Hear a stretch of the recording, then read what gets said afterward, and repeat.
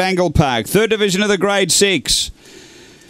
And away, there's pace out wide from Airball. It's showing good speed. Captain McLaren bustling through, and Hollywood Model. They go to the first turn, and moving up here is Airball. It's putting the pressure on, finds the lead. Captain McLaren second, uh, two away. Hollywood Model, then Nebraska Allen from Pie Eye, Velocity Tina, Total Shambles, and Ritzer Jordan off the back. Leader is Airball, out a length and a half. Captain McLaren, then Nebraska Allen, Hollywood Model. They're on the turn. Airball straight in the leader. Captain McLaren a length away, but Airball, Airball beats Captain. Captain McLaren. Third home, Nebraska Allen. A big gap away, Hollywood Model. Then came Velocity Tina from Total Shambles, Richard Jordan and Pie Eye back at the tail. The time here is 30 and 15.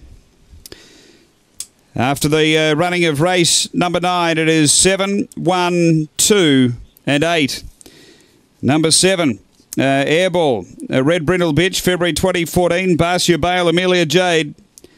Number seven first,